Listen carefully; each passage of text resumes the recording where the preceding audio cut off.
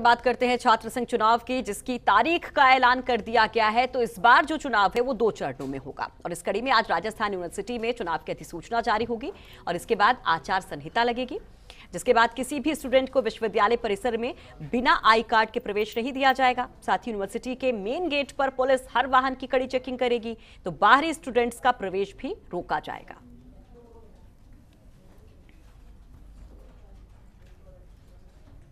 तो तारीखों का ऐलान हो चुका है तो वहीं दूसरी तरफ़ शक्ति प्रदर्शन भी लगातार जारी है एबीवीपी और एनएसयूआई की तरफ़ से। कल एबीवीपी ने प्रदर्शन किया था, जिसके बाद आज एनएसयूआई की तरफ़ से भी जवाब दिया जाएगा। आज एनएसयूआई अपना शक्ति प्रदर्शन करेगा। हालाँकि कल जो कार्यक्रम था, बीवीपी का, उसको लेकर सवाल भी उठाए जा रहे हैं। और ये कहा जा रहा है कि बाहरी छात्रों को इकट्ठा किया गया था बीवीपी की तरफ़ से। यहाँ तक कि स्कूली स्टूडेंट्स को भी लाया गया था उस भीड़ में। लेकिन अपनी अपनी बातें हैं अपने अपने मुद्दे हैं अपने अपने वादे हैं, दावे हैं। और हर तरफ़ अब चुनावी रंगत, चाहे वो कॉलेजेस की बात करें या विश्वविद्यालय परिसर की, किसी भी कैंपस की बात करें, हर तरफ़ ये चुनावी रंगत दिखाई दे रही है। और आप देख सकते हैं कि छात्र कितना उत्साहित है और तारीख के ऐलान के साथ ये चुनावी सरगर्मी बहुत बढ़ गई है। बिल्कुल तो छात्र संघ के जो उम्मीदवार हैं वो यहाँ पर एकजुट भी हो गए हैं। कल की अगर बात करें तो कल एबीवीपी ने यहाँ पर एक रैली निकाली, यूनिवर्सिटी के भीतर ही, और इस दौरान शक्ति प्रदर्शन बतौर यहाँ पर दिखाया गया। वहीं अगर एनएसयूआई की बात करें तो आज एनएसयूआई अपनी ताकत यहाँ पर दिखाने वाली है। तो बहुत समय से इंतज़ार था यहाँ पर कि कब छात्र संघ चुनावों को लेकर तारीखों का ऐलान होगा और उसके बाद कब उम्मीदवारी जो अपनी पेश यहाँ पर कर रहे हैं वो किस तरह से प्रिपरेशन करेंगे किस तरह से रणनीति बनाएँगे और किन मुद्दों को यहाँ पर उठाया जाएगा। लेकिन अब तारीखों का ऐलान जैसा कि हो गया है दो चरणों में चुनाव होने हैं तो ऐसे में रणनीति यहाँ पर बना दी गई है और जल्द ही यहाँ पर आचार संहिता भी लग जाएगी। लेकिन, लेकिन अब हर कोई अपना यहाँ पर शक्ति प्रदर्शन दिखाएगा।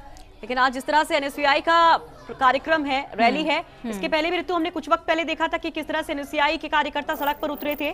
तब बहुत ऐसी विकट स्थिति बन गई थी पुलिस के लिए कि पुलिस को वाटर कैनन का भी इस्तेमाल करना पड़ा था लाठी चार्ज भी करना पड़ा था, जिस पर सवाल भी उठे थे।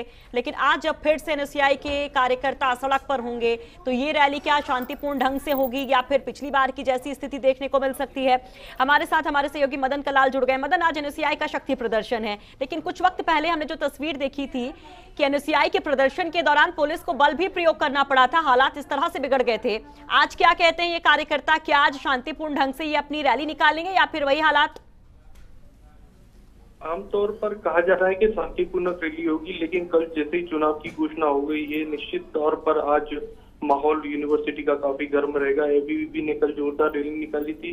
उसको काउंटर करने के लिए एनएसयूआई की ये बड़ी रैली है और और इस बात से इनकार नहीं किया जा सकता है कि यूनिवर्सिटी में आज लाठीचार्ज जैसे हालात भी बन सकते हैं। इसके लिए एनएसयूआई ने पूरी तैयारी कर ली है। बड़े लवाजमे के साथ में एनएसयूआई अभी रैली निकालेगी और कार्यकर्ताओं के जुटने का सिलसिला यूनिवर्सिटी कैंपस में शुरू हो चुका है। बिल्कुल मदन जैसे ही तारीखों का ऐलान हुआ और आज की अगर बात करें तो फ़िलहाल यूनिवर्सिटी में किस तरह की हलचल देखने को मिल रही है?